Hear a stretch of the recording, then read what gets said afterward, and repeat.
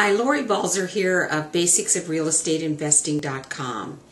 You know, as you consider property types to invest in, one of the uh, property types that can be easier to get into, particularly today, is the condominium unit.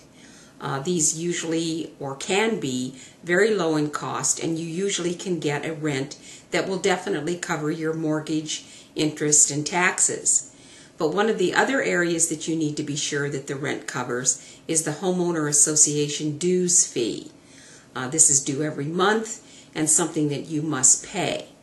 So it is a good type of property.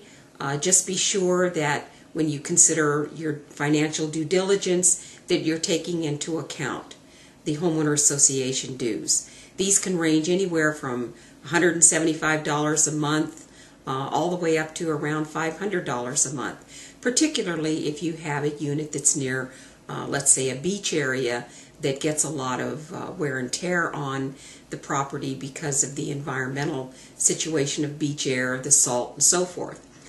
So the basic thing I'm talking about here is be sure if you get a good priced uh, condominium unit, you can use it as a rental. It's a good place to start but in considering whether the rent will cover everything, be sure it also covers that homeowner association due fee.